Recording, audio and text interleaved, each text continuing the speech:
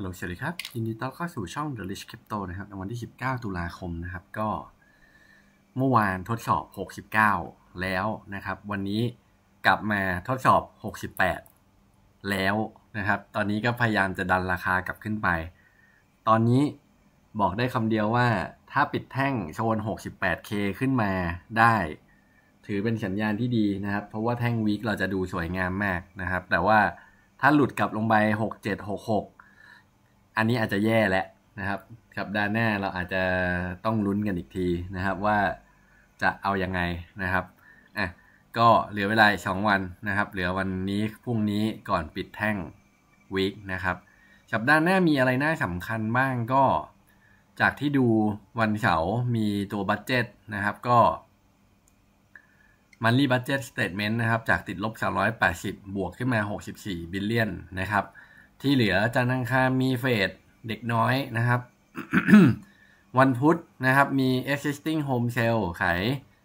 บ้านได้ไหมนะครับ แล้วก็วันพฤหัสมี jobless claim นะครับ อันนี้ตัวเลขสำคัญนะครับ แล้วก็วันศุกร์นะครับมี durable good นะครับ order ว่าโอเคไหม แล้วก็สัปดาห์สิ้นเดือนนะครับ มีอะไรเอ่ย มี GDP growth rate นะครับ ว่าจะโตหรือไม่โตนะครับ ถ้า GDP โตดีต่อตลาดดอลลาร์และคริปโตนะครับ แต่ทองอาจจะลง เออ อันนี้ก็ต้องลุ้นกันดูว่า GDP จะโตไหม ถ้าโตก็เป็นสัญญาณที่ดีที่ดอลลาร์จะดีดขึ้นมา หุ้นก็อาจจะดีดขึ้นมา คริปโตอาจจะได้อันนี้ส่งไปด้วยนะครับ ก็ถือว่ารอบนี้จะสังเกตได้ว่าดอลลาร์ลงบิตคอยลงนะครับ เออ ต้องดูว่า ผมคิดว่าวันจันทร์เปิดตลาดมาคริปโตน่าจะขึ้นต่อนะ แล้วก็ทองก็ยังมีโอกาสขึ้นอยู่นะครับ แล้วก็ตลาดหุ้นก็น่าจะมีโอกาสขึ้นเช่นกันนะครับ จากที่ดูทรงนะเออดังนั้นตัวเลขสำคัญจริงๆ จะไปปิดในช่วงสามสิบสามเอ็ดตรงนี้นะครับ มี GDP growth rate กับ personal income นะครับ ที่จะเป็นตัวชี้วัดว่าประชาชนมีกินมีใช้หรือไม่นะครับ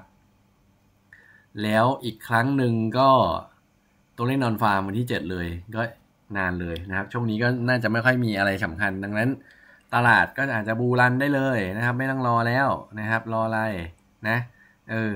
Bitcoin teach นะครับ breakout as FOMO liquidity grab นะครับ keep 69k in place นะครับ ก็มาแตะ 69 ปุ๊บตบปั๊บปุ้งลงมาเลยนะครับ แล้วก็ทงมาทดสอบโซน 68 ต้นๆนนะครับ liquidity นะครับ ตอนนี้ liquidity รออยู่แถวๆโซน 67 ค่อนข้างเยอะ แต่ข้างบนจะมีตรงจุดที่หนาแน่นก็คือ 695 จนถึง 70,000 นะครับ ด้านบน ตอนนี้คิดว่ามันน่าจะอยากกิน 68 มากกว่า อยากกิน 70 นะ แล้วเดี๋ยวพอกิน 68 อาจจะกระชากมา 67 นิดนึงแล้วกระชากกลับขึ้นไปไหม ไม่รู้นะครับ ตรงนี้ก็บอกได้คำเดียวว่า ถ้าลงอย่าลงเยอะกว่าโลเดิมก็พอ ถ้าลงเยอะกว่าโลเดิม จบไม่สวยนะครับ เออจบไม่สวยอะราคาบิตคอยน์โดมิเนนต์ก็ปั๊มขึ้นมานะครับ จนถึง 58.88 นะครับ ตอนนี้ ดังนั้นตอนนี้ก็ต้องรอดูกันว่าเมื่อไหร่ที่หลุดเอาคอยถึงจะได้วิ่งนะครับ หลายๆคนถามว่าทำไมเอาคอยไม่วิ่งก็ มันเข้าเงินเข้า BDC อย่างเดียวเห็นปะตอนนี้อาจจะมีเงินเข้าดอทมาอีกตัวหนึ่งนะครับ ก็ลุ้นกันดูแล้วกันนะว่ารอบนี้ดอทจะเอาอยัางไงนะครับอะเดือนนี้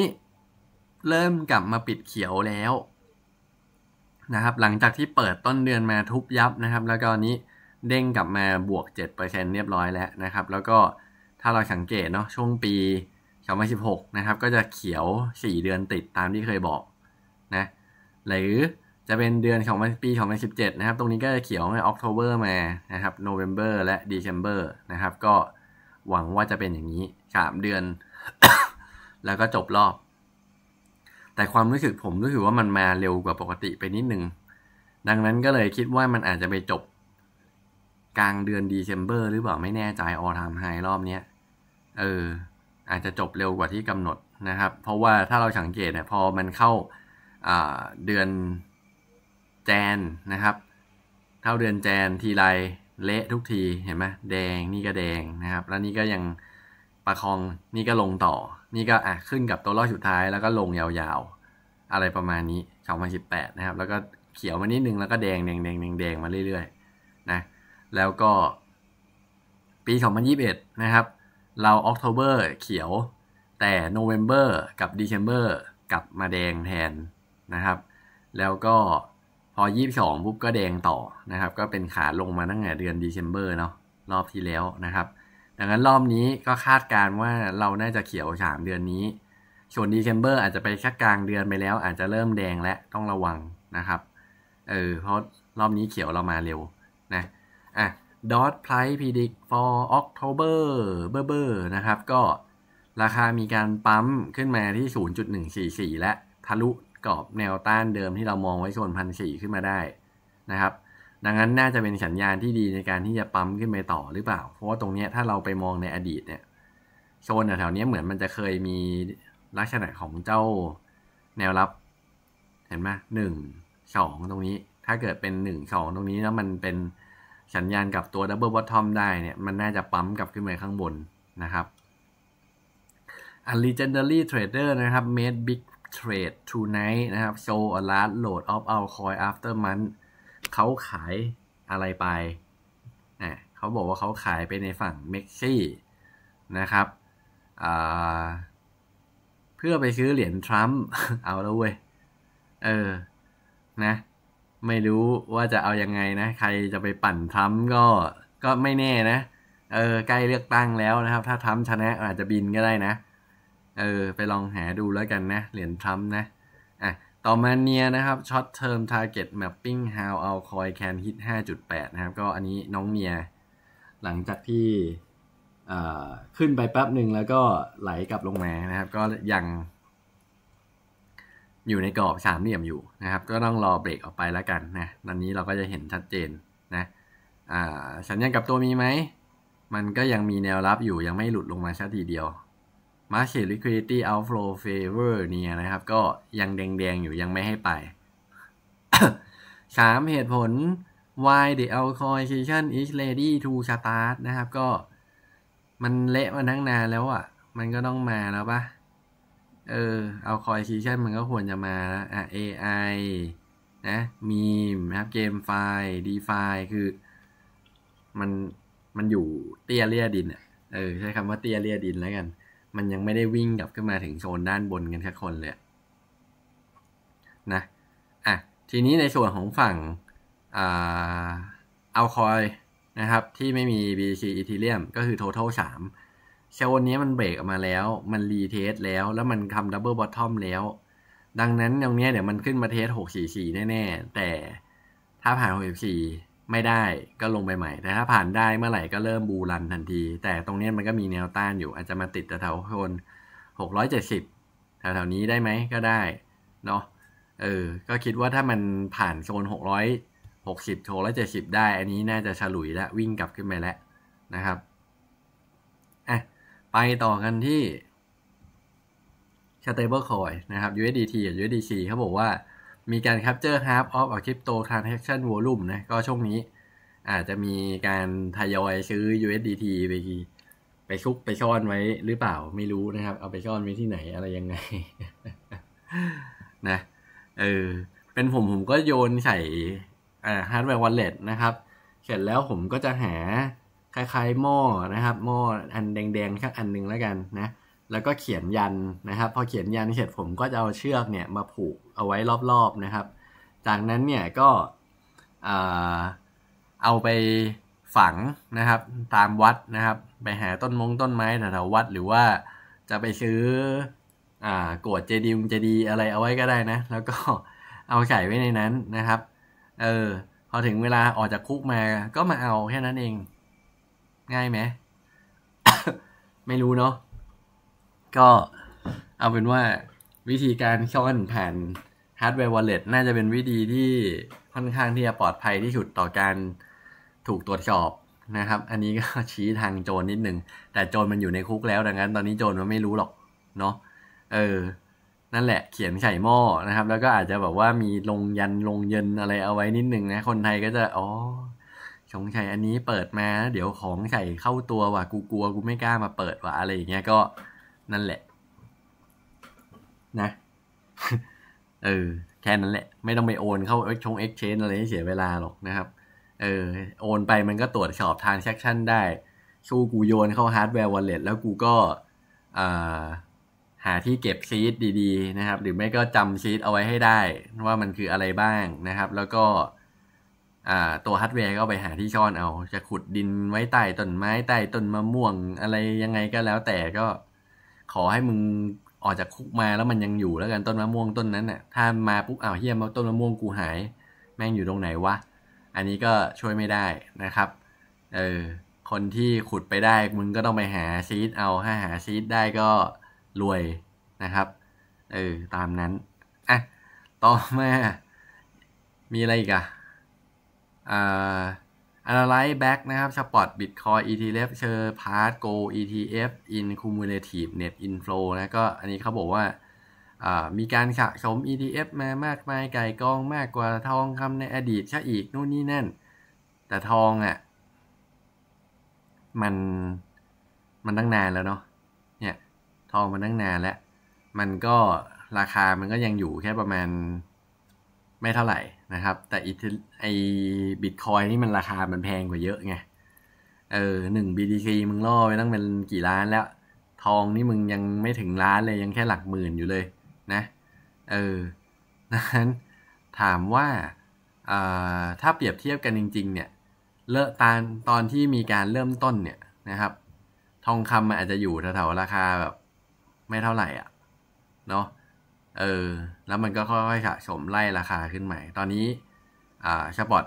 บิตคอยนะครับ มันก็ล่อมาสองหมื่นกว่าเหรียญแล้วภายในช่วงระยะเวลาสั้นๆ เท่านั้นเองนะครับ แต่ว่าต้องบอกว่าไอ้สองหมื่นกว่า มันก็ ตรงนี้ใช่ไหม แล้วก็พอเริ่มเปิดไม่นาน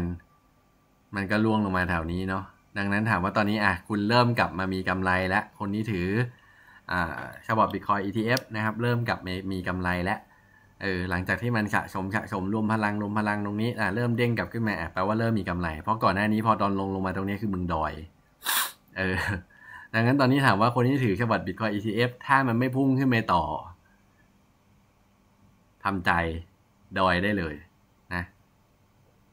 อะทีนี้ดอทกับชิบะอินุนะครับ Social Dominance at 5 month high นะครับ Can FOMO stall price growth นะครับก็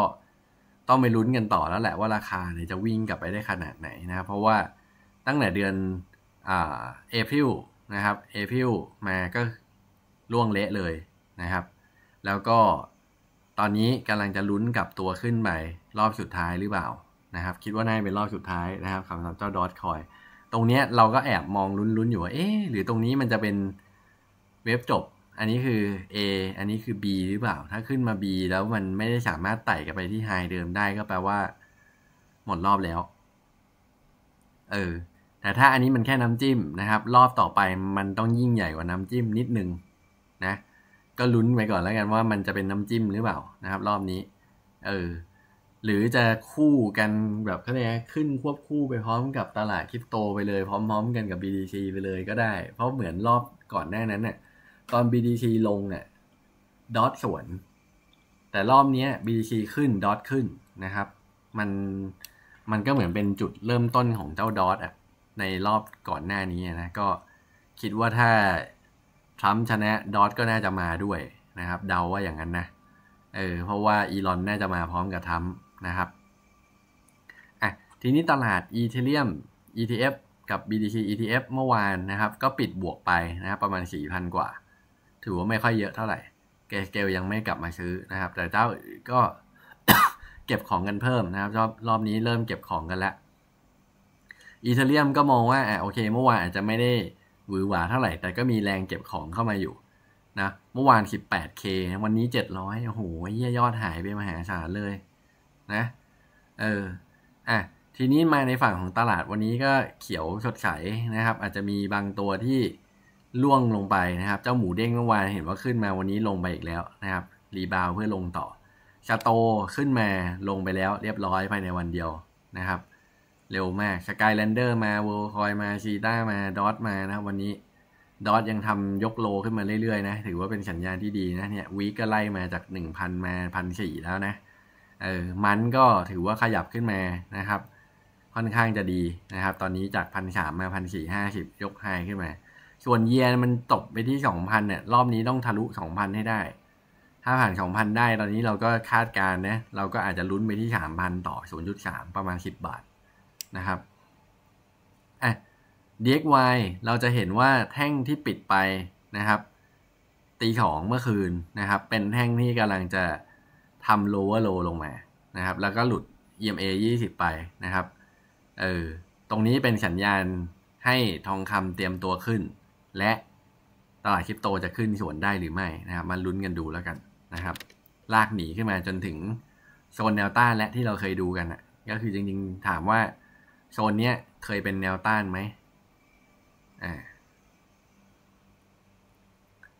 ถ้าเราตีเช่นนี้มานะครับ ก็จะเห็นว่าจริงๆแล้วโซนโซนบริเวณนี้ก็คือกรอบอาจจะเป็นกรอบแนวต้านเก่านะครับโซนนี้แตะแตะแตะเห็นไหม แล้วก็ตอนนี้ชนแล้วไม่ผ่านนะครับ ชนแล้วไม่ผ่าน ก็มองว่าเป็นโซนแนวต้านเก่า แนวต้านเดิมเช่นนี้นะครับ ชนแล้วไม่ผ่านแต่คุณก็เห็นว่ามันก็ยังมีแนวรับเห็นไหม EMA 200 MA 200เนี่ยอยู่ในกรอบตรงนี้ดังนั้นวันจันทร์มันอาจจะย่อกลับลงมาได้ไหมได้นะแล้วโซนนี้อาจจะมองเป็น rising wedge ก็จริง แต่ว่ามันมีแนวรับ support อยู่ค่อนข้างเยอะร้อยสามร้อยสามจุดหนึ่งร้อยสาม จุดสามหกนะครับ แล้วก็ร้อยสองจุดแปดตรงนี้ แล้วก็ EMA ยี่สิบมันอยู่ที่ประมาณร้อยสองจุดห้าซึ่งถ้ามันจะลงมาก็คิดว่าน่าจะมาแถวๆร้อยสองจุดห้าอีกทีหนึ่งอะไรประมาณนี้นะ เออ ส่วนทองนะครับ วันนี้วิ่งขึ้นทำ all time high ใหม่หนึ่งครั้งนะ เออ ตามเป้าที่เราเคยดูก่อนหน้านี้ก็คือตรงนี้เนาะ จากจุดเบรกขึ้นมานะครับ ถามว่าใกล้ถึงยังใกล้ถึงแล้วเออ ดังนั้นเป้ามันก็ ค่อนข้างใกล้เคียงนะครับกับจุดที่เรามองเอาไว้โซนนี้ที่เป็นเหมือนอ่า reverse head and shoulder นะครับ หรือจะเป็น cup and handle ตรงนี้ก็แล้วแต่เรามองนะครับ ก็ถือว่าจากจุดที่เบรกขึ้นมาตรงนี้ เกือบถึง target แล้วก็ถือว่าโอเคแล้วนะ ดังนั้นจะไปต่อหรือเปล่า อันนี้ถ้าวันจันทร์ดอลลาร์ลงทองอาจจะสวนขึ้นมาได้อีกทีหนึ่งนะครับ ก็อาจจะมีลุ้นขึ้นต่อ เพราะว่า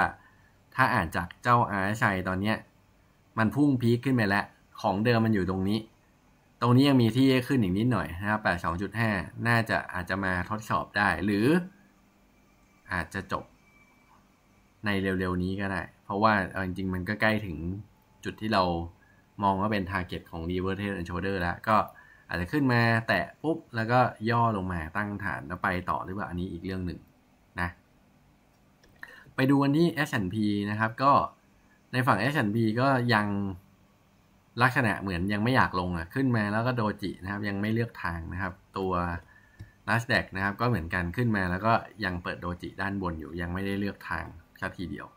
ส่วน total market cap นะครับ ถือว่าพุ่งชนกรอบแนวต้านเช่นนี้และหนึ่งสองสามนะครับ ดีดออกไปไม่ได้นะครับ ในส่วนของตัว total นะครับ ที่เป็นแนวต้านของเรานะแนวต้านตอนนี้อยู่ที่ประมาณสองจุดสามหนึ่งนะครับ ส่วนเช่นแนวรับขาขึ้นนะครับเช่นนี้ ที่เราตีมา อาจจะมีหลุดบ้างกลับมาบ้าง หลุดบ้างกลับมาบ้าง แต่ปัจจุบันมันเหมือนจะเริ่มหลุดแล้วเนาะเออ time frame day เนี่ยโซนแนวรับปื๊ดลงมาตรงนี้ คิดว่าตรงนี้จริงๆ ก็คือกรอบแนวรับของเขาแหละ นะเออกรอบแนวรับและแนวต้านของเขา ตอนนี้ก็คืออยู่ในกรอบตรงเนี้ย reverse head and shoulder ถ้าเบรกได้ก็พุ่งอะแต่ถ้ายังเบรกไม่ได้ก็ยังไม่มา ตอนนี้แอดมองเป้าไว้ก่อนที่ 2.6 นะครับ ถ้าเบรกได้นะ 2.58 ตรงนี้ นะไฮเดิมกรอบตรงนี้เลย เบรกได้กลับขึ้นมาใหม่ เริ่มที่จะยืนเหนืออเส้น EMA กับ MA 200 แล้ว ตรงนี้คือ เส้นนี้นะ MA 200 อันนี้ EMA 9รออยู่ตรงนี้นะครับ ถ้าย่อกลับมาก็น่าจะมาแถวๆตรงนี้แหละ เนี่ย 2.235 นะครับ วันนี้เปิดแท่ง reverse hammer ลงมานะครับ 4 ชั่วโมงเริ่มไหลลงมา หลุด EMA 9 ไปแล้ว ดังนั้นค่ำคืนนี้อาจจะมีการย่อลงมาได้หรือไม่นะครับ ตรงนี้ก็หลุดแนวรับเห็นไหมรีเทสไม่ผ่านรีเจ็คนะครับ ก็ต้องดูว่าจะเบรกกลับขึ้นมาได้ไหมนะครับ ถ้าเบรกกลับขึ้นมาไม่ได้ก็อาจจะไหลกลับลงมานะครับ มาที่เช่น EMA ยี่จับของ time frame 4 ชั่วโมงจะอยู่ที่ 2.27 ตรงนี้ก่อนละกันนะแล้วก็เป็นไฮเดิมตรงนี้ เออ ก็ ยังไม่ได้ไปต่อก็รอไปก่อนนะครับ ทีนี้มาในฝั่ง USDT บ้างนะครับ USDT เนี่ยมันมีแนวรับเช่นนี้อยู่ แต่แต่แต่แต่แล้วแม่งไม่หลุดว่ะ มันไม่ยอมลง มันยังไม่ยอม มันยังอยู่นะครับ มันยังเขาเรียกว่าอะไรดี ยังพยายามอยู่ เออ ยังพยายามอยู่อะแล้วมีการเบรกหนีขึ้นมาตอนนี้ 5.25 แล้ว เมื่อวานเราเห็นมันอยู่แถว5.2 เนาะ ค่อยๆไต่กลับขึ้นมานะครับ พยายามที่จะลากกลับขึ้นมา เดี๋ยวคงจะมีเทส EMA 20 กันในค่ำคืนนี้แหละ แล้วก็ถ้าเบรกกลับขึ้นมาได้ ก็จะเป็นสัญญาณการกลับตัวขึ้นตรงนี้ เราอาจจะได้ลงไปเห็นหกสิบหกสิบเจ็ดไหมหกสิบเจ็ดหกสิบหกไหมไม่รู้นะครับ ถ้ามันยังไต่ขึ้นมาได้อยู่ก็ยังเป็นสัญญาณอันตรายของตลาดคริปโตนะครับ ถามว่ามันค่อยๆขึ้นมาไหมจริงๆตรงนี้มันก็มีแนวรับที่เกิดใดอยู่ในโซนนี้ แต่มันก็ยังโลลงมา แล้วตรงนี้ มันยก low ขึ้นนิดหนึ่ง ตรงนี้ก็ยังยก low ขึ้นมา พยายามจะขึ้นต่อเนี่ยดูทรงนะครับ ก็มีการทำ higher high ขึ้นมา ยังไม่ได้มีสัญญาณที่ไม่ดีนะครับ ที่ว่ามันจะบอกว่ามันจะลงต่อนะ ตอนนี้ดังนั้น ก็ยังอันตรายอยู่ ตรงนี้มี higher high มี lower high นะครับ เริ่มเป็นสัญญาณกับตัวของ USDT ดังนั้นอาจจะมีย่อในสัปดาห์หน้าระวังนิดนึงแล้วกันนะครับ เอออาจจะย่อแบบต้นสัปดาห์แล้วปลายสัปดาห์จะลากขึ้นอะไรอย่างนี้ก็ได้นะ ไม่มีใครรู้นะ อะ Bitcoin dominance เน้นเน้นเน้นเน้นนะนะครับ ก็ขึ้นมาตรงนี้เกิดสัญญาณ bearish นะครับ ใน time frame สี่ชั่วโมงมาแล้วนะครับ ตรงนี้แตะบนแตะล่างแตะบนแตะล่างไม่ถึงล่างนะ แต่ว่าก็เดี๋ยวก็คงล่างแหละ เพราะว่า EMA 20 กด EMA 50 2เส้น cross ตัดหัวทิ่มอยู่ตรงนี้ แล้วถ้า BTC ลงเอาคอยก็จะลิงวิ่งวิ่งวิ่งวิ่งวิ่งวิ่งกันนะครับสี่ชั่วโมงเป็นไงสี่โมงเปิดแท่งกับตัวหลุด EMA 9 ก็ลงมาเจอกัน20 ก่อนแล้วค่อยว่ากันแล้วกันนะครับ ตอนนี้ก็แนวรับโซนนี้จะหลุดไหม ถ้าหลุดปึ๊กปึ๊กปึ๊กลงนี่อะลองวัดเป้าดูคร่าวๆัดเป้าอะก็จะย่อลงมาโซน58.7 นะครับ ซึ่งปกติถ้าลง 58.7 แล้วก็ จะเห็นว่าตรงนี้มีหัวมารอแหละ มีไหลมารอแหละ แล้วก็อาจจะขึ้นทำหัวอีกทีนึง แล้วก็ลงทำ head and shoulder แล้วก็จบรอบของ Bitcoin แล้วหลังจากนั้นก็เอาคอยซีชั่นสตาร์ทหรือเปล่า เป็นอย่างนั้นไหม ไม่รู้นะลุ้นเอาแล้วกัน อะ ส่วน BTC เมื่อคืนนะครับ แตะ 69 ปั๊บ ทุบ ปุ๊บลงมาเลยนะครับเมื่อวานนี้ถึงห้าหกเก้าพอดีเลย ถ้าจำถ้าดูตัวเลขไม่ผิดตรงโซนเนี้ยเนี่ยถึงตรงนี้เป๊ะเลยหกเก้าปุ๊บแม่งทุบปึ้งลงมาเลยตอนแรกก็เห็นว่าแท่งแรกเอ้ยทุบลงมา retest เว้ยเช่นนี้เนี่ยทุบลงมา retest อะเด้งไปไม่รอดว่ะ กลับลงมาใหม่ขึ้นไปไม่รอดขึ้นไปไม่รอดขึ้นไปไม่รอด แท่งนี้ก็ไม่รอดนะครับ ดังนั้น คิดว่าน่าจะมีการย่อกลับลงมานะครับที่ EMA 20 67,600 จะเป็นโซนแนวรับสำคัญนะครับ ถ้าหลุด 676 ก็ลงมาเจอที่ 668 ที่เก่าเวลาเดิมตรงนี้นะครับ ดังนั้นตอนนี้ก็อยู่ในช่วงไหลวันนี้ไม่ไปไหนเลยทั้งวันนะครับ ไหลอย่างเดียว ตั้งแต่แตะตรงเนี้ยปึ๊กปึ๊กของทีปุ๊บก็ไหลนะครับ แล้วก็ยังเบรกออกมาไม่ได้ ก็เข้าสู่กรอบขาลง ชัดเจน ตรงนี้เช่นกดเอ้ยเช่นแนวรับขาขึ้นหลุดไปแล้วนะครับ ก็ไหลไหลไหลตุบตุบตุบลงมานะครับ ก็เป็นสัญญาณการวิ่งกลับบ้านนะครับเนาะตรงนี้แนวรับใกล้ๆ คือ 68,000นะครับ มี EMA 2เส้นรออยู่นะครับ ใน time frame 1 ชั่วโมงนะครับ ก็ใครไม่มั่นใจตอนนี้ก็จะเพ่นก่อนก็ได้ แล้วก็มารอเก็บข้างล่างนะ เออมารอเก็บข้างล่างนะครับทำเฟรมเดลี่นะครับเดลี่เปิดแท่งแดงลงมานะครับ แต่ว่าเขียวเนี่ยเขียวใหญ่เนาะเปิดแท่งแดงสวนลงมาประมาณหนึ่งในสามนะครับ ยังเหลืออีกครึ่งทางถ้ามันลงมาแถวๆหกเจ็ดหกตรงนี้จริง ๆ เนี่ย ก็แปลว่าพรุ่งนี้ลงนะอาจจะลงได้อีกหน่อย แต่ถ้าเกิดว่าไม่ได้เปิดแท่งลงลงมานะครับ ถ้าเรามาดูจาก time frame daily ตรงนี้ หลุดแล้วนี่ เออ ไม่แน่รอดอดูทรงนี้ดิ ตรงนี้ยังมีแนวรับอยู่ มาดูสี่ชั่วโมงกันสี่ชั่วโมงมีแนวรับตรงไหน มีตรงตรงนี้เหรอ ตีมานี่นะครับ แนวรับอยู่ประมาณแถวนี้หกเจ็ดแปดเนาะ ก็ดูไม่ค่อยดีเท่าไหร่ คิดว่า ต้องเปิดโดจิให้ได้ แล้วอีกแท่งหนึ่งดันกับราคาหนีไปให้ได้ถึงจะรอดอะดูทรงแล้วไม่แน่รอดนะ มันต้องลีลาหกสิบแปดตรงนี้เยอะๆหน่อย เพราะว่าเอ่อคนดอยเยอะเออคนดอยตรงนี้เยอะนะอะทีนี้นะครับมาที่อ่าอันนี้ก็น่าจะทรงคล้ายๆ กันแนวรับอยู่ตรงนี้เช่นเนี้ยนะลากมาก็อยู่แถวๆประมาณหกเจ็ดสี่หกเจ็ดห้าเนี่ย ตรงนี้มี EMA ยี่สิบรอยหกเจ็ดหกนะแถวๆนี้แหละแนวรับนะครับ ถ้าหลุดก็ลงถ้าไม่หลุดก็ไปต่อ BNB เอ้ยอีทีเรียมนะครับ ก็เมื่อวานแตะสองหกเจ็ดยังเบรกไฮไม่ได้ กรอบแนวต้านเดิมอยู่ตรงนี้ เบรกไม่ได้ก็อยู่กรอบสามเหลี่ยมตรงนี้ไปก่อน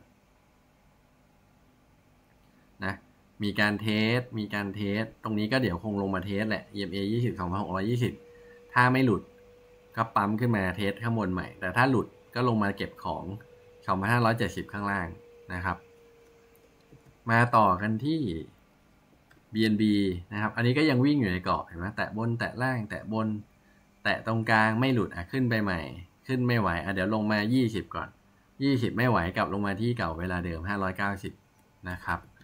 ไปที่ดาด้านะครับดาด้าก็ใช้เวออกข้างมานะ ยังไม่ได้มีอะไรหวือหวานะครับ ลักษณะตอนนี้เหมือนจะทำแบร์แฟกอีกหนึ่งครั้งเบรกปึ้งขึ้นมาไม่ผ่านอะลงแฟกไปใหม่ไหม หรือยังไงนะเออ ก็ถ้าเบรกแฟกก็ลงมาเจอเช่นล่างที่เดิมสามสามสามจุดศูนย์จุดสามสี่เออ ประมาณนี้ ทีนี้ของ BTC เนี่ยมันมีสิ่งหนึ่งที่ผมแอบกลัวๆอยู่นิดนึง มันดูมีความเชื่อมโยงกันได้หรือไม่ อันนี้ผมขอปิดนะอะทีนี้เรามาดูกันในส่วนของ BTC กันนิดหนึ่งนะครับ มันอาจจะมีมุมมองอีกมุมหนึ่งก็คือ มุมนี้ ขอตีเป็นสี่ชั่วโมงแทนเนี่ยแท่งนี้ออกไปก่อนอะตอนนี้เราจะเห็นว่ามันมีเส้นเทรนขาขึ้นนะครับที่ support ราคาขึ้นมาเรื่อย ๆ อยู่ แต่มันก็มีเส้นสะพรึงอยู่ตรงนี้อีกเส้นหนึ่ง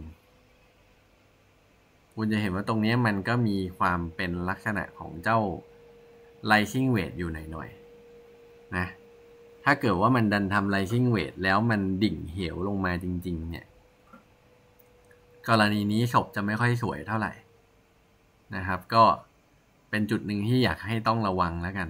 แต่ตอนนี้อะมันอาจจะมีแนวรับเช่นนี้มารอโซนหนึ่งมีแนวรับตรงนี้โซนสองนะครับ ซึ่งผมยังมองว่าอะโอเค อย่างน้อยๆ เรามีสองโซนนะ ที่เป็นหกเจ็ดตรงนี้หนึ่งจุด แล้วก็หกห้าเก้าหรือประมาณโซนหกสิบหกตรงนี้อีกหนึ่งจุด ดังนั้นคิดว่ากรอบหกสิบหกน่าจะยังเอาอยู่ เนาะเออ อันนี้ขอกลับมาที่ BTC นิดนึงนะครับ น่าจะยังเอาอยู่ หรือถ้าให้เละสุดใจ ก็น่าจะประมาณหกสามห้าอะไรแถวๆนี้ก็ ถ้ามันจะเป็นขาขึ้นนะนะ มันก็ไม่ควรที่จะหลุดต่ำกว่านี้นะครับ เพราะว่าถ้ามันหลุดตรงนี้มันเสีย pattern แล้ว มันก็จะไม่ได้แบบว่าไปได้แบบสวยๆงามๆแล้วนะครับ ก็เนี่ยอะเรายังมีแนวรับตรงนี้อีกโซนหนึ่งอะจุดเบรกขึ้นไปยังไม่ได้กลับมา retest อาจจะกลับมา retest ก่อนหกสี่หกห้าอะไรแถวๆเนี้ยให้ลึกสุดก็น่าจะแถวๆหกสิบสี่แล้วกันหกสามห้าร้อยแต่แถวเนี้ยคิดว่าโซนเนี้ยน่าจะเป็นโซนแบบสุดท้ายแล้วดังนั้นใครที่ราคาอยู่ข้างใต้ หรือไปเปิดช็อตเอาไว้เนี่ย ต่ำกว่าโซนเขาเรียกว่าอะไรอะ โซนหกสิบลงไปผมว่าน่าจะน่าจะไม่ได้เจอกันง่าย ๆ แล้วอะน่าจะยากอยู่ เออ น่าจะไม่ได้กลับลงไปง่ายๆอะเออ แล้วก็ตรงนี้นะ คือแนวรับขาขึ้น เอาแบบแย่สุดตอนนี้เท่าที่เห็นนะ ถ้าเกิดว่าแม่งจะลงมาเทสแนวรับขาขึ้นก็คือห้าสิบเจ็ดห้าสิบหกอะ โซนเนี้ย อันนี้คือโซนแย่สุดแล้วที่จะลงมาเนี่ย ถ้าวันนี้ลงมาแบบรูดเดียวปื๊ดเดียวลงมาเนี่ยก็หมื่นเหรียญน่ะ ก็ห้าหมื่นแปดตรงนี้แล้ววะ เออ คิดว่าถ้าต่ำกว่าห้าหมื่นแปดตรงนี้ไปน่าจะไม่เห็นแล้วนะ คาดหวังว่าไม่เห็นนะยกเว้นมันจะเกิดเหตุการณ์ระเบิดนิวเคลียร์ลงสหรัฐอเมริกาอะไรอย่างเงี้ยโอเค เนี่ยแม่งคือเรื่องที่แบบมีโอกาสเกิดได้ ทีนี้วันเนี้ยเมื่อกี้ลืมบอกไปนิดนึงว่าอะคุณจะเห็นตรงนี้สัญญาณแบริดนะสี่ชั่วโมงนะครับ เกิดขึ้นตรงนี้ดังนั้นหลายคนก็เอ้ยฉันไม่กล้าเข้าแล้วว่ามันเกิดแบร์แล้วเอาไงดี ก็ตามที่บอกแหละ ใครไม่มั่นใจเจอแบริดอย่างนี้เข้าไปก็หนีก่อนนะ ไม่มั่นใจก็หนีก่อนไป ถือไปรอดูโอกาสก่อนนะครับ แต่ว่าผมก็บอกไว้เป็นในๆแล้วกันว่าtime frame day มันยังไม่ได้ดูแย่ แค่มันอาจจะกำลังจะเริ่มย่อลงมา retest หรืออะไรถ้าเราถือมาตั้งแต่หกต่ำกว่าหกสิบสามลงไปผมว่าไม่น่าเป็นห่วง เออ แต่ถ้าเกิดว่าคุณถืออยู่แถวๆแบบหกเจ็ดอย่างเงี้ยโอเค มันอาจจะลงมาเยี่ยมได้หกหกอย่างเงี้ยลงมาเยี่ยมได้ ไม่น่าแปลก แต่แท่ง week อะคุณมาดูแท่ง week ก่อนแท่ง week เนี่ย MACD บอกเอ้ยอันนี้อันนี้ไม่ใช่ อยู่นี่อันนี้แม็กดีบอกฉันกำลังจะคลอสแล้วนะ ช่วยให้เกียรติฉันด้วย แต่บางครั้งเวลาจะคอสทีไรนะกูเห็นแม่งโดนตบหัวทิ่มทุกทีลองดูดิมีตรงไหนที่มันกำลังจะคอสแล้วโดนตบไหมอ่าตรงนี้ นะไปดูตอนแม็กดีคลอสกัน แท่งนี้ปื๊บเปิดเขียวมา อันนี้บินนะครับ ไม่เฟกนะ เออสัปดาก่อนก็คือหัวโผล่มายืนเหนือ EMA ร้อยอีกสัปดาหนึ่งบินเลยเห็นปะเออ รอบนี้ไม่ fake อะ มาดูรอบนี้ปึ๊บนี่รอบนี้นะตัดปุ๊บรูดปั๊บเขียวหลอกนะ เขียวหลอกแล้วแดงยาบกลับลงมาข้างล่างเลย อันนี้คือรอบที่ไลท์ไลท์กาดมากแกล้งขับขาหลอกว่าจะขึ้นด้วย MACD แล้วก็ตบหัวทิ่มกลับลงมาข้างล่างเห็นปะลากเสร็จขึ้นต่อยาวๆเลย เออ ไม่รู้ว่ารอบนี้จะเล่นมุกเดิมไหมตบลงไปก่อน แล้วก็ลากกลับขึ้นมายาวๆอะไรเงี้ย แต่คิดว่าตลาดมันไม่ได้บ่งบอกว่าจะจะให้มึงขึ้นได้อีกยาวอะอะอย่างรอบนี้ จะเห็นว่าอะเปิด แท่งตัดกลับขึ้นมาก็จริง แต่ขึ้นไปได้หนึ่งสองสามแล้วก็สี่ลงแล้วกลับลงมาต่อ แต่ตลาดก็บอกเอ้ยฉันลงเสร็จฉันขึ้นต่อนะ เออ ไม่ได้ตัดลงต่อ แต่ตรงเนี้ยอะพอตัดลงเป็นไง ตัดลงปุ๊บ ใช้เวออกข้างแล้วลงต่อ เนาะอะ มาดูรอบนี้ รอบที่ MACD ตัดเขียว เปิดล็อกขึ้นมา อันนี้ก็ขยายขึ้นมาแล้วกันนะ จะได้เห็นหน่อย ไม่งั้นมันไม่เห็นนะปึ๊บอะตรงนี้แล้วกันนะ ตัดเขียวนะครับ ก็ขึ้นมานิดหน่อยแต่ใช้เวแล้วก็ไปต่อยาวๆ รอบนี้อะมีการตัดเขียวเห็นไหมตัดเขียวแท่งนี้ อีกสัปดาห์หนึ่งขึ้นนะ อีกสัปดาห์หนึ่งขึ้น แล้วเป็นไงล่วงยับเลยขับขาหลอกแล้วก็ลงแล้วก็ขึ้นต่อ อันนี้คือรอบโควิดเนาะอะ รอบนี้ตัดเขียวนะครับ เขียวปุ๊บอีกแท่งหนึ่งขึ้นแต่ก็ทุบกลับลงมาใหม่ แล้วก็ค่อยวิ่งต่อ ดังนั้นก็ให้โอกาสมันหน่อยแล้วกันนะ มันอาจจะตัดเขียวหลอก หรืออาจจะเขียวจริงก็ได้รอบนี้นะครับ แล้วถ้าเราอ่านจากสัญญาณ weekly จริง ๆ เนี่ย สัญญาณ weekly กับแท่ง weekly นะครับอ่าแท่ง week แท่ง week มองว่าน่าจะเป็นสัญญาณการมีโอกาสขึ้นต่อ นะครับ แต่อาจจะเป็นแท่งเขียวกลางหรือเขียวเล็กได้หรือไม่น่าจะได้ เออ ก็ยังมองว่าอะโซนนี้มันเคยเป็นแนวต้านเดิมเห็นไหมมันก็เลยอาจจะลีลานิดนึงนะแต่หกแปดเนี่ยเห็นไหมโซนเนี้ยหกแปดหกแปดนี่ก็หกแปดนะโซนนี้มันต้านเยอะมันอาจจะรีลาตรงนี้สักวีคหนึ่งสองวีคก็ไม่แน่ใช่เรื่องที่จะแปลกใจนะครับ ดังนั้นก็คิดว่าอาทิตย์หน้า น่าจะใช้วีโง่ๆแกล้งหลอกเราเนาะ หรืออาจจะมีย่อนิดนึงก่อน เพื่อคิดว่า เอ้ยแม็กดีเขียวเว้ยแต่ฉันลงเว้ยหรืออะไรอย่างนี้หรือเปล่าเราไม่รู้นะครับ ก็ระวังกันนิดนึงแล้วกัน ถ้าใครมั่นใจจะเพ่นก่อนก็ได้ มีกำไรแล้วก็เพ่นนะครับ อย่าอยู่อย่าอยู่อย่างอยากนะครับ โลภมากไม่เหลือชากเออ ใช้คำนี้โลภมากอาจจะไม่เหลือชาก็ได้ เออนะ แล้วก็ถ้าเกิดว่าเรามาตีจากเช่นนี้นะครับ ที่เป็นแนวต้านเนี่ย ยังเบรกไม่ได้นะ ต้องยืนหกเก้าอันนี้คือใช่นะครับ ถ้าเราเอาแท่งแรก อันนี้เบรกแล้ว แต่เราเอาแท่งสองยังไม่เบรกนะหัวเบรกมันนิดเดียวเห็นไหมดังนั้นถ้าปิดอย่างนี้ได้สัปดาห์หน้าเปิดขึ้นมาได้ ไม่กลับลงมาก็ไปเลย ก็ถือเป็นสัญญาณที่ดี มาลุ้นกันดูแล้วกัน คิดว่ายังไงก็ขึ้นต่อเนาะอะทีนี้ไปต่อที่เหรียญ อื่นๆ กันนิดนึงเมื่อจริง ๆ เมื่อเช้าเหมือนจะมีคนถามมาเรื่องฮุกเนาะฮุกเมื่อเช้าเนี่ยให้ไปแล้วนะ เออ ให้ไปแล้ว แล้วเหมือนมันจะไปแล้วแล้วมันกลับลงมาแล้ว ไปเร็วมาเร็วมาก เออ ก็เมื่อเช้าเปิดให้ไปก็บอกว่าเนี่ยเดี๋ยววิ่งขึ้นมาสี่เก้าห้าสิบก็ถึงนะสี่พันเก้าเกือบเกือบห้าสิบเนาะแต่ไม่ถึงนะ ก็ให้ไปสี่เก้านะครับ แล้วก็วันนี้ปั๊มขึ้นไปเรียบร้อยเมื่อเช้า ปึ๊บขึ้นไปนะ ถึงตรงนี้พอดีเลยสิบเอ็ดโมง ให้ไปตอนเนี้ย ให้ไปตอนประมาณแท่งเจ็ดโมงเก้าโมงเนี่ย ก็ปั๊มนะครับ ปั๊มเสร็จลงแล้ว เร็วเหลือเกินนะ แต่ว่ามันเป็นสัญญาณอะไร มันเป็นสัญญาณการเริ่มที่จะออกเดินทางเนาะ ดังนั้นตอนเนี้ยถ้ามันจะไม่ได้ไปต่อหรือไปต่อยังไง มันก็มันก็เริ่มมีสัญญาณการขึ้นมาแล้วเนี่ย มันอาจจะติดแค่นี้แค่นั้นเอง ดังนั้นก็ ให้เวลามันอีกหน่อย เดี๋ยวมันก็มาใหม่นะครับไอตัวแบบเนี้ยแตะปุ๊บไม่ผ่านกลับลงมาใหม่ เออ ต่อมาที่เชต้านะครับ เมื่อกี้แอบส่องมาก็ดูทรงค่อนข้างสวยนะเชต้านะครับเชต้าทรงค่อนข้างสวยอยู่ อะ มาดูใน time frame day นะครับ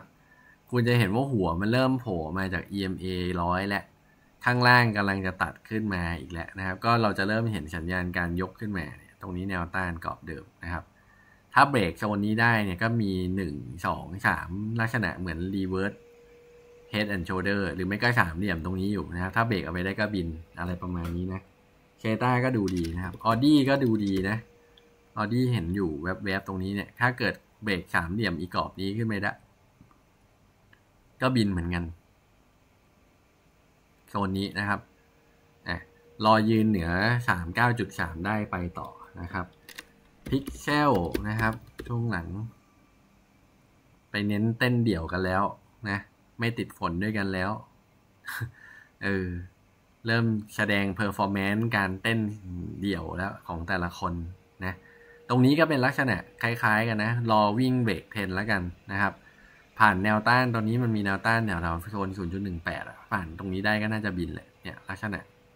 ก็ปั๊มกลับมาโซนนี้2004 น้องสิวนะครับ น้องสิวอยู่ตรงนี้นะครับ ก็ยก high ยก high ยก low ยก low นะครับ ตรงนี้ก็รอเบรกอึดแนวต้านนี้แล้วกันนะรอเบรกตรงนี้ ก็ชนเท่าที่สังเกตนะคุณจะเห็นเอาคอยทุกตัวแม่งทำอย่างเงี้ยอยู่ข้างล่างตรง bottom นะก็ใครได้ของแถวนี้ก็คือของถูกอะ่ะ ของก่อนออกเดินทางอะ่ะนะ แล้วก็ Worldcoin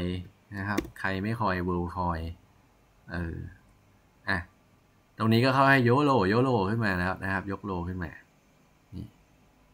เบรกขึ้นมาปื้บปื้บปื้บ double bottom ตรงนี้ปื้บ retest ปื้บนะครับ ขึ้นมาปื้บอะค่อยๆยก high ยก low ขึ้นมา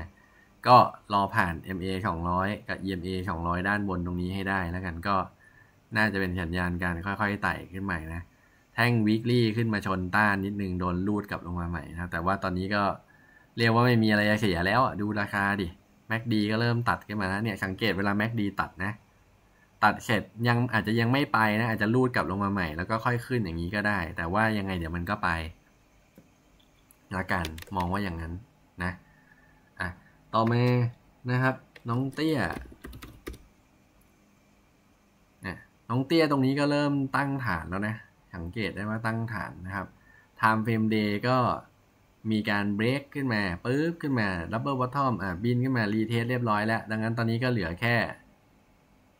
ให้อ่าทางกรมอนุมัติการบินอย่างเดียวนะครับ รอสัญญาณ อาจจะบินไม่พร้อมกันหรืออะไรยังไงก็รอกันไปเนี่ย ตรงนี้อยู่ในกรอบ ใช้เวลาไม่น่าเกินสองสัปดาห์นะครับ ในการอนุมัติการบินนานไปไหมมึง กูต้องไปนอนในแอร์พอร์ตนานขนาดนี้เลย เอออันนี้ก็ไม่โอเคนะนอนนานไปอะน้องเนียนะครับ ตรงนี้สามเหลี่ยมเบรกหลอกนะครับ กลับลงมาใหม่ใช้เวแทนนะ ตอนนี้ก็เลยยังไม่ได้ไปไหนนะครับสำหรับน้องเนียนะเออนี่รออยู่ในกรอบนี้กันไปก่อนนะครับ ก็ผ่าน 5.3 ได้ 5.5 7 58 ได้นะครับ ก็บินแล้วกันซูเปอร์ซูเปอร์ ซูเปอร์ไปแล้วนี่หนึ่งสองสาม reverse head and shoulder retest ปุ๊บไปเลยนะครับ ตอนนี้ก็พยายามที่จะกลับขึ้นมา test high เดิมนะ มีสัญญาณ bear div ตรงนี้หรือยัง เหมือนจะมีนะ เส้นนี้ถึงเส้นนี้เกิด bear div ใน time frame day ไปเรียบร้อยแล้ว ดังนั้น เพ่นได้ก็เพ่นนะ แล้วแต่นะ ตรงนี้ผมไม่ได้ห้ามไม่ใครอยู่นะ เออ เพ่นได้ก็เพ่น ตรงนี้แบมาแล้วหนึ่งทีนะครับ ตรงนี้เบรกหลอกออกมาแกล้งว่าจะไปต่ออีกสักนิดหนึ่งแล้วกัน ก็รอดูว่าถ้าเทสผ่านไฮเดิมได้ก็ไปต่อผ่านไม่ได้ก็จบรอบชัตตอส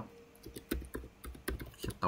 ช่อชโตเจอร์อะอันนี้ไปแล้วจบแล้วเรียบร้อยนะครับ เกิด bear ตรงนี้ปุ๊บขึ้นนี่ปุ๊บแม่งทิ้งของเลยนะเรียกว่ากำลังจะออกสู่อวกาศยังไม่ทันไรนะ โอ้โห มึงทิ้งกระเป๋าหนีก่อนแล้วนี่ นะยืน test RSI ห้าสิบมีสัญญาณ rebound มา ต้องลุ้นว่าจะเบรกกลับมาได้ เบรกกลับไม่ได้ลงต่อยาวๆ จบรอบ power ledger หรือเจ้าเหรียญ power ranger นั่นเองนะครับ ก็ตรงนี้เบรกออกมานะครับ ขึ้นมา retest พยายามลุ้นไปต่อ ตรงนี้มีลักษณะไหล หัวไหลนะรอปิดยืนเหนือ 2,004 ได้สวยๆลุ้นไปต่อเหมือนกัน power ledger นะ Pendle Pendle อะ Pendle พยายามขึ้นตอนนี้ test high เดิมอยู่นะครับ แต่ว่าก็มีการทำ higher high ขึ้นมาใหม่เรียบร้อยแล้วนะครับ ดังนั้นตัวนี้เป็นเหรียญม้ามืดเหมือนเดิมนะมืดมากด้วย แต่สังเกตตรงนี้มีไหล่มีหัวมีไหล่นะครับ ถ้าเริ่มเบรกยืนเหนือ high เดิมขึ้นมาได้เมื่อไหร่ น่าจะไปได้อีกไกล เช่นกัน เอาไหล่ขวามาดูซิ target แรกกลับไป 5.9 target ที่สองซิ target ที่สองวิ่งกลับมา high เดิม 7 ดอลนะครับ ก็ลุ้นกันไปแล้วกัน 7 ดอลมาไหม ถ้ามาก็แปลว่าตรงนี้มีการทำไหล่ทำหัว และอาจจะลงทำขวาไหล่ทีนึงแล้วไป หรือบางทีก็ไหล่แล้วก็หัวแล้วก็ไปเลยก็มีนะ เออ Maker นะครับ อันนี้เละสุดใจแล้ว คิดว่า ใช้ได้แล้ว Maker นี่คิดว่าใช้ได้แล้ว แล้วถ้าดูจาก RSI ก็คิดว่าเละแล้วใช้ได้แล้วนะครับ ลงมาข้างล่างแล้ว ราคาต่ำเตี้ยเลียดินแล้วสำหรับ Maker คิดว่าน่าจะเนี่ย สังเกตว่ามันทำ low ทำ low ทำ low และทำ low สุดแล้ว พอๆกับ EBNX เนี่ยนะ แล้วก็ตรงนี้ถ้าเกิดว่าเรามองแบบ เฮ้ย นี่มัน wave หนึ่งลง wave สอง wave สองมันอยู่ที่หนึ่งพันเอาเป็นว่าถ้าลงมาอีกถึงหนึ่งพันก็ ก็ไม่แน่ลงแล้วอะมันน่าจะจบแล้วป่ะ เออ มันไม่น่าจะต่ำกว่านั้นแล้วป่ะ แต่ถ้าดูอะเราลองดูตรงนี้นะ ที่มันเป็นลักษณะของ จะเรียกว่า falling weight ก็ได้ falling weight ก็ นะ ก็ใกล้แล้วแหละใกล้จะถึงปลายทางแล้วมั้งเนี่ย ดูทรงเนี่ย เนี่ย ตีกดลงมาปึ๊บปึ๊บปึ๊บปึ๊บตรงนี้ มาดูใน time frame day ข้างล่างตรงนี้นะ แท่งใหญ่มา อันนี้โดจิมา อันนี้ลากไส้กลับขึ้นไปดูสี่ชั่วโมงเริ่มยืนไหว ตรงนี้ถึงตรงนี้ทำ low เท่ากับ low เดิมนะครับ แล้วก็มี divergence ลากกลับขึ้นมา ค่อยๆยกยกยกขึ้นมาแล้วดังนั้นคิดว่า Maker นี่ก็น่าจะได้เวลา กลับตัวในไม่นานนี้ละนะเช่นกดตรงนี้ก็ถือว่าออกมาแล้วเรียบร้อยนะครับ ก็ค่อยๆยกออกมา ตอนนี้เหลือแค่ว่าอะรอดูให้มันทำ higher high ก่อนก็ได้ ให้มันผ่านสักพันสองสี่สิบไปก่อนก็ได้ ใครยังไม่รอ เอ้ยใครยังไม่เก็บของก็รอไปก่อนเนาะสุดท้ายวันนี้ให้กับเจ้าน้องหมาด็อกกี้ด็อกกี้เป็นไงนี่หนึ่งสองเบรกแล้วเรียบร้อยดังนั้นตอนนี้คิดว่าน่าจะลุ้นไปต่อด้วยกรอบของเก้าสามเหลี่ยมตรงนี้นะ อย่างน้อยๆนะ อาจจะได้เห็นสักประมาณพันศูนย์จุดหนึ่งเจ็ดแล้วกันนะลุ้นแล้วกันนะ เออ หรือเอาตรงนี้อะกรอบที่เป็นแฮนเดิลก็ได้ กรอบแฮนเดิลจากจุดเบรกจะอยู่ที่ประมาณเท่าไหร่ศูนย์จุดหนึ่งห้าห้าร้อยนะครับ ก็มาลุ้นแถวนี้แล้วกันสองโซนนะครับห้าร้อยกับศูนย์หนึ่งเจ็ดนะครับโซนนี้ เออ นี่ยังไม่ได้เอากรอบกรอบใหญ่สุดตรงนี้นะ ลองเอากรอบใหญ่มาดูดิลองเอาเป้านี้มาดูนะเป้านี้มา ชี้เป้ากลับมาที่ 0.188 นะครับ ก็ถ้าช่วงนี้ BTC ไม่วิ่ง ดอทอาจจะวิ่งแทนก็ได้นะไม่รู้แต่ว่าตอนนี้จังหวะมาแล้วหนึ่งละสองละ ต้องดูว่าจะมีสามชาชาชาไหม ถ้าสามเสร็จแล้ว ไม่ได้ไปต่อก็ ก็รู้กันว่าหมดรอบ ไม่รู้ว่าตรงนี้มันคือแบบลักษณะของขา A แล้วก็ขึ้น B มาหรือเปล่า แล้วก็เดี๋ยวเตรียมลง C ไหมอันนี้เราไม่รู้นะครับ แต่ว่าเอาเป็นว่ามึงวิ่งใช้เวดาวมาตั้งแต่ปีสองพันเท่าไหร่อะสองพันยี่สิบเอ็ดแล้วอะตั้งแต่เมษาแล้วหลังจากนั้นก็ไม่เคยขึ้นอีกเลยนะ คนอื่นเขาทันวงทันวาก็ขึ้นมาไอ้นี่คือไม่ได้ทำไฮใหม่นะครับ ถือว่าทำไฮรอบเดียวจบเนาะ อันนี้เรามองเป็นลักษณะของหนึ่งสองสามสี่ห้าจบ แล้วก็หลังจากนั้นก็เทยับเลย แล้วตอนนี้มันเริ่มมีอ่าเวฟขยับขึ้น ขยับขึ้น เป็นเหมือนกับแรงกระเพื่อมอะเออเป็นเหมือนแรงกระเพื่อมอะอย่างน้อยๆ รอบนี้ก็ขอรุ้นแล้วกันถ้าตรงนี้มันทำครับ แล้วมันกลับขึ้นมาที่เดิมตรงนี้ได้ก็เป็นแฮนเดิลถ้าเกิดว่าลุ้นว่าเออทำครับแฮนเดิลได้อย่างน้อยๆ รอบนี้ก็ต้องขอสักศูนย์จุดสามแล้ววะ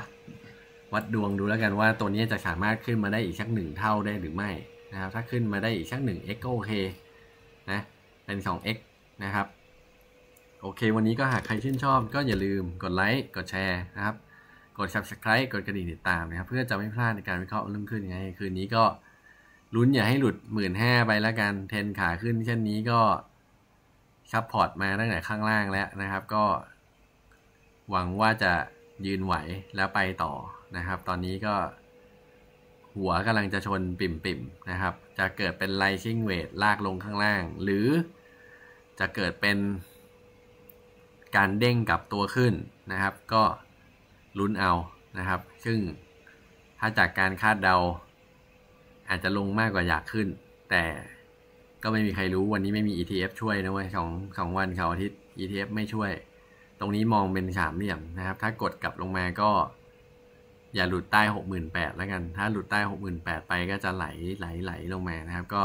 ตอนนี้มันยังเป็น lower high อยู่ยังเป็น higher high อยู่เรื่อยๆนะครับ ก็ยังเป็นสัญญาณที่ดี เพียงแต่ว่าเรามีแบร์มาตั้งแต่ตรงนี้หนึ่งสองสามและสี่นะครับ เกิดแบร์ลิดทั้งหมดสี่ครั้งแล้วก็จะเพนก่อนก็ได้ ไม่มีใครว่านะครับ วันนี้ฟันดีลาติชอตขอบคุณครับ